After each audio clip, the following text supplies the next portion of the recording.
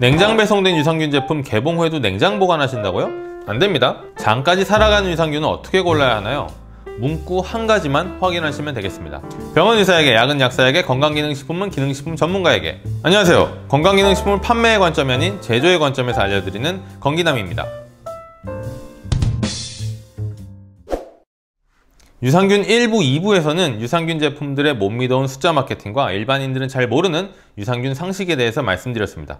궁금하신 분들은 영상 밑에 설명 부분을 참고해 주시고요. 그럼 유산균 3부, 유산균 제품의 고르는 법, 보관 방법, 섭취 방법 시작하겠습니다.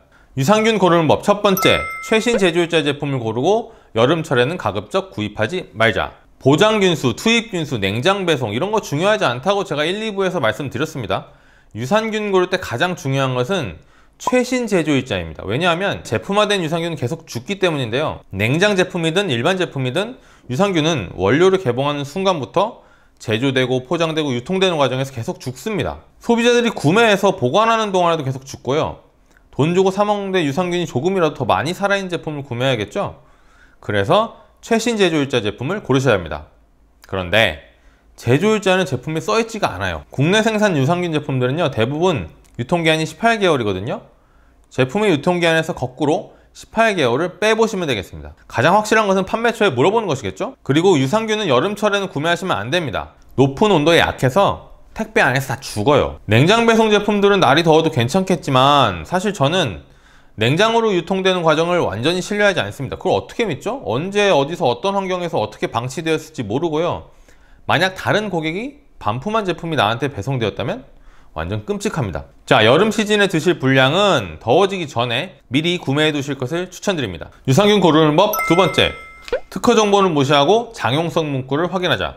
유산균 업체마다 특허 균주 사용, 특허 유산균이라고 강조하죠. 자기들 특허가 더 뛰어나다고 엄청 자랑하는데요. 무수히 많은 업체들의 특허 다 거기서 거기입니다. 특정 유산균이 엄청나게 뛰어나다고 할 수 없습니다. 제가 장용성 문구 확인하자고 말씀드렸는데요. 장용성 하면 어떤 분들은 야 그거 장에서도 안 녹고 대변으로 배출되는 거 아니야? 하실 텐데요. 잘못 알고 계신 겁니다. 장용성이라는 문구는요. 아무 제품에나 쓸 수 있는 말이 아닙니다. 붕해 시험과 내산성 시험 이 두 가지를 통과해야만 장용성이라고 쓸 수 있는데요.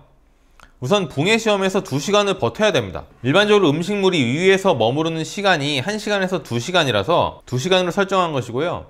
그 시간 동안 위 속에서 녹지 않고 버텨야 합니다. 그리고 내산성 시험은요. 위와 장의 산도에 견디는지 살펴보는 시험인데요.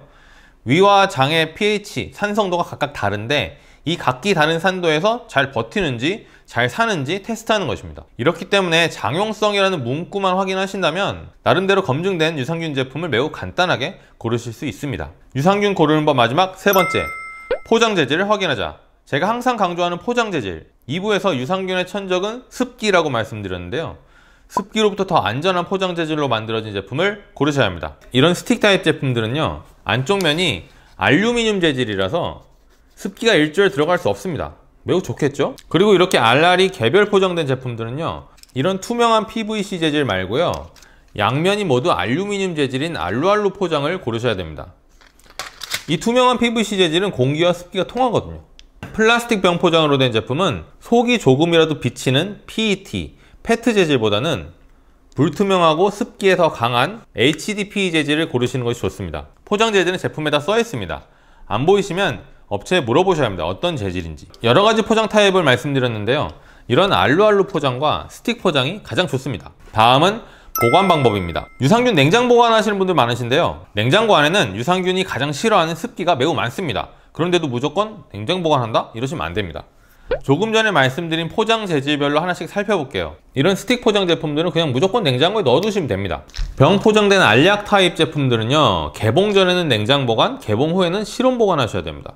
이런 병 포장 제품을 냉장고에 보관하시면 하나씩 꺼내 드시는 분들 많으신데요. 자, 뚜껑을 열고 닫으면서 외부 공기가 들어가고 그에 따른 온도 차이가 발생해서 유산균의 천적인 습기가 발생합니다. 에이 캡슐이 들어있는데 괜찮겠죠 하시는데 이런 캡슐이요 공기와 습기가 다 통합니다. 이렇기 때문에 모든 병 포장 제품들은 개봉 전에는 냉장 보관, 개봉 후에는 반드시 실온 보관하셔야 됩니다. 다음 이렇게 개별 포장된 제품들은요 이런 알루알루 포장은 습기가 일절 통하지 않기 때문에 계속 냉장 보관하시고요. 이런 투명한 PVC 재질로 개별 포장된 제품은 공기와 습기가 드나들기 때문에 개봉을 하든 안 하든 무조건 실온 보관하셔야 됩니다. 사실 이런 PVC 재질로 된 개별 포장 제품을 냉장 배송하는 것도 좀 이상하죠? 자, 마지막 이상적인 섭취 방법 말씀드리겠습니다. 첫 번째, 유산균은 식후에 드시면 되고요. 매일 드실 필요 없습니다. 유산균이 장까지 살아가려면 음식물이랑 같이 들어가야 생존 확률이 높아집니다. 그래서 식후에 드시는 것을 추천드리고요. 그리고 유산균은 영양소가 아니에요.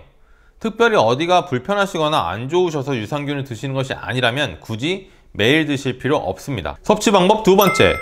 보장균 수가 적은 것부터 드셔보시면 됩니다. 아이나 어른이나 마찬가지예요. 굳이 처음부터 보장균 수 100억, 1000억 짜리 제품을 드실 필요 없습니다. 보장균 수 1억이나 10억짜리부터 드셔보시고 좀 균수를 늘려보시고 싶으시면 100억대로 넘어가시면 되는데 보장균 수 1000억, 3000억 어, 사실 너무 비싸서 저 개인적으로 추천하지는 않습니다. 이런 초고함량 유산균 제품들은 특정 질병이 있어서 유산균을 정말로 많이 드셔야 하는 분들만 드시면 되지 않을까 생각합니다. 자, 섭취 방법 마지막 세 번째. 유산균 드실 때 프리바이오틱스를 꼭 같이 먹을 필요는 없습니다. 요즘 유산균의 먹이라고 프리바이오틱스 많이 드시죠? 건강 예능 프로나 홈쇼핑에서 너무 많이 나와서 최근에 프리바이오틱스 제품을 따로 구입하시는 분들도 많은데요. 프리바이오틱스 안 먹는다고 해서 유산균들 굶어 죽지 않습니다. 우리가 섭취하는 영양소로도 유산균들은 충분히 살아갈 수 있습니다. 차라리 유산균 아예 드시지 마시고 프리바이오틱스만 드시는 것은 전 좋다고 봅니다. 우리 장 속에는 이미 착한 균들이 있거든요.